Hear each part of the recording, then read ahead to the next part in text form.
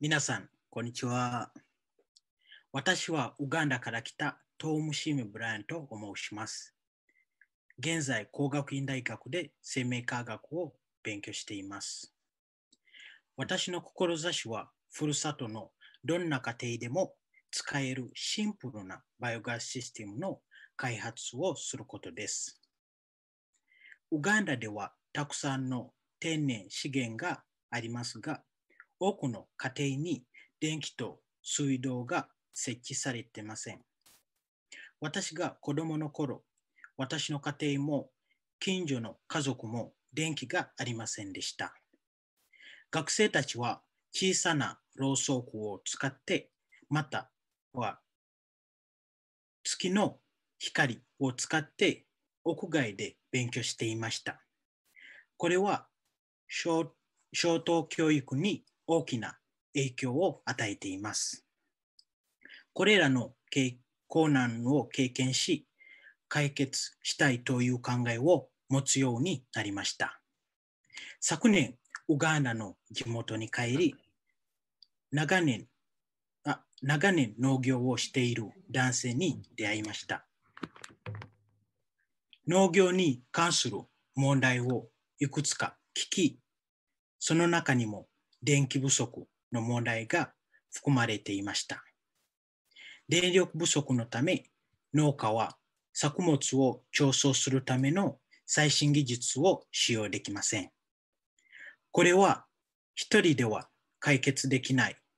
大きな問題であると彼が言いました。ウガンダでは農業が主な活動であり、多くの家族が小さな農場を持っています。これらの家族は自然に捨てられる廃棄物を出し、それによって環境を破壊してしまいます。そこで廃棄物の捨て方と電気の両方の問題を解決することを考えたので、動物からの廃棄物も処理する家庭用発電用の簡単なバイオガスシステムの構築の開発に取り組もうと決めました。足長育英会を通じて留学する機会を得たおかげで必要な知識を深めることができました。今後さらに知識を高め、ウガンダでのバイオガスシステムの実現に向けて努力したいと思っています。この情熱を現在得ている奨学金からふるさとウガンダでのいくつかの簡単な研究に対して資金を提供することができました。この研究では私と現地チームのはその電力の実施可能な生産コストを見つけました。資源は主に動物や植物の廃棄物であることを考えると農村地域の農家のほとんどにとって安価です。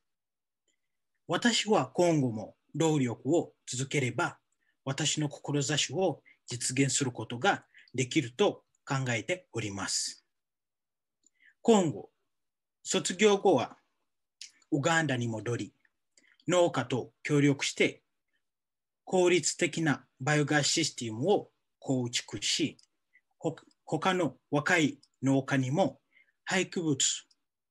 を使って発電する方法を教えたいです。2年後は、2年後にはウガンダのローカルチームのバイオガスを作成するために使用される教科書やその他の機器の購入に役に立つ資金を集めるためのクラウドファンディングを作成したいと考えています。日本に来て4年になりましたが、電気の大切さを実感しています。電気は生活を支える大切なインフラです。これは多くの農民が農場で電気を使うのを助け、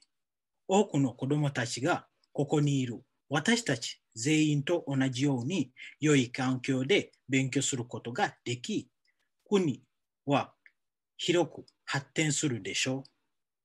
う。バイオ電気は他の種類の電気と比較して環境に優しく安価です。さらに電力を供給するだけではなくて農家の農場での廃棄物を減らすのにも役に立ちます。未来はアフリカにあり、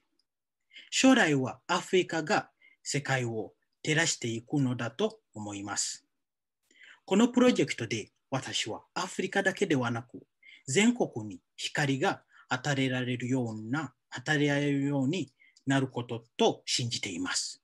ご清聴ありがとうございました。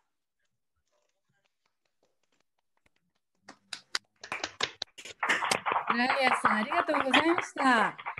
環境問題とそしてエネルギー問題だけではなくて、それが世界の光になるという志、とても胸を打たれました。それでは審査員の青木様、プレゼンターにメッセージをお願いいたします。はい、えー、トムシメ・ブライアンさん、はいえー、本当に素晴らしい、えー、プレゼンテーションでした。えー、あなたからですね、えー、感じたものは、世のため、人のため、自国の未来のために、自分の命をまさにこの日本でしっかりと、えー、学び、生かしていこうとする志です。えー、本当に素晴らしい志を感じました。まあ、特に具体的に農業分野でバイオシステムの開発、ここに目を向けてですね、今、具体的な学びをそこで行い、実現に向かっているというところが実行していることも素晴らしいと思います。えー、思いで終わることなく、経済がそこに必要になるということで、しっかりと将来のそれを実現するための、えー、プランニングも考えているという本当に素晴らしいプレゼンテーションだったと思います。あなたのような人がですね、これからのウガンダ、そしてアフリカ、そして世界の指導者として活躍してくれることと信じています。素晴らしいプレゼンテーションに感謝します。ありがとうございました。ありがとうございました。